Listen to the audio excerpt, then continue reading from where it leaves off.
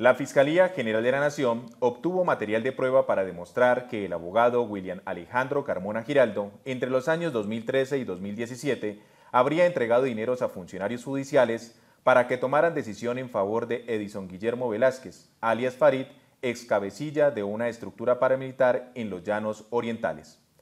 Carmona Giraldo, inicialmente, obtuvo la sustitución de una medida privativa de la libertad en centro carcelario por una restricción domiciliaria con el argumento de que el procesado era padre cabeza de hogar.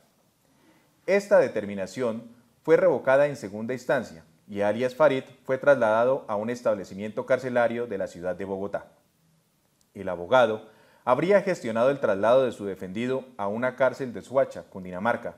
Ante un juez de este municipio presentó una solicitud para que la detención preventiva la pudiera cumplir en Guaduas. Esta petición fue aceptada. Sin embargo, en la remisión se incluyó la dirección de un hotel, así que alias Farid permaneció privado de la libertad fuera de un centro carcelario.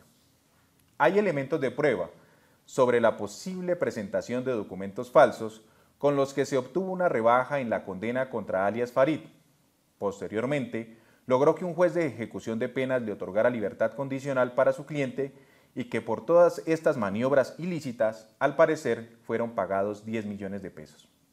Un fiscal de la Dirección Especializada contra la Corrupción imputó al abogado los delitos de concierto para delinquir y cohecho por dar u ofrecer, cargos que el abogado aceptó, quien deberá cumplir medida de aseguramiento en centro carcelario, esperando que un juez defina su situación final. La Fiscalía General de la Nación habla con resultados.